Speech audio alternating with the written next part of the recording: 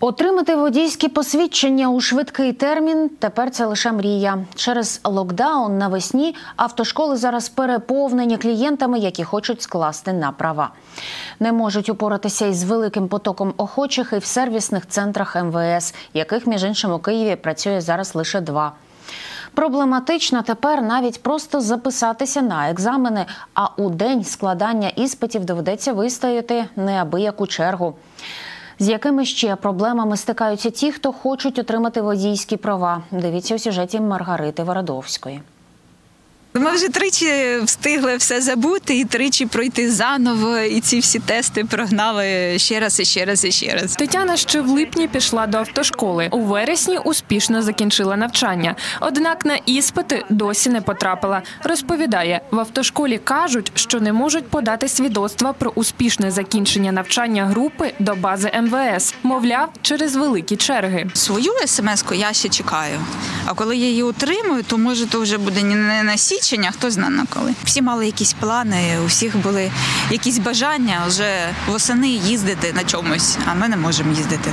А ось за документами в базі МВС Тетяна почала навчання тільки в жовтні, а завершить у грудні. У сервісному центрі міністерства кажуть, такі історії не поодинокі. Кожна школа має свій ліміт студентів. А коли охочих учитися більше є, школа не хоче втрачати клієнтів. Їх беруть на курси, але в базу МВС вносять згодом. У нас немає випадків, коли там по 4 місяці, по 5 місяців автошколи не вносять в реєстр інформацію. Мені про таке невідомо. Вони, як правило, діють е, в рамках то, то, тих нормативних документів, якими вони керуються при своїй роботі. Особа, яка е, поступає в автошколу і підписує договір, вона повинна дійсно уважно прочитати його зміст.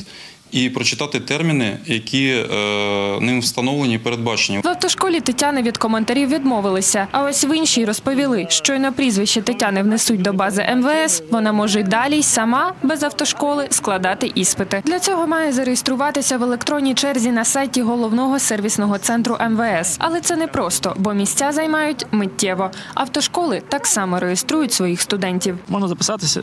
Відкрився тільки що день, 21-й, мабуть, ще не, не встигли записатися. Ми повинні записатися обов'язково в електронну чергу. І е, електронна черга звільняється, місця там викладають на дві неділі максимум. І як тільки з'являється якесь вільне місце, одразу ж це місце займ- займає якась людина. Там треба моніторити. Цих людей можна частково назвати везунчиками, адже вони вже стоять у черзі на іспити.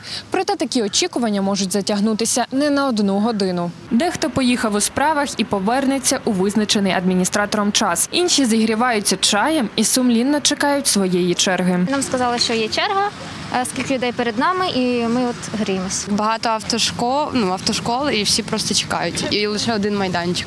Це один із двох сервісних центрів у Києві, які працюють. Третій закритий. великий наплив курсантів, тому що в Києві велика кількість автошкіл, які випускають цих курсантів. Ми своїми ресурсами не можемо прийняти таку кількість курсантів, які вже закінчили автошколу. Нових сервісних центрів у Києві відкривати не планують. А щоб пришвидшити роботу екзаменаторів, у МВС планують скоротити час складання практичного іспиту. Замість 30 хвилин відведуть лише 20, прибравши частину іспиту на автодромі і залишивши лише водіння в місті. Маргарита Варадовська, Ольга Сошенко, Павло Тихоненко, п'ятий канал.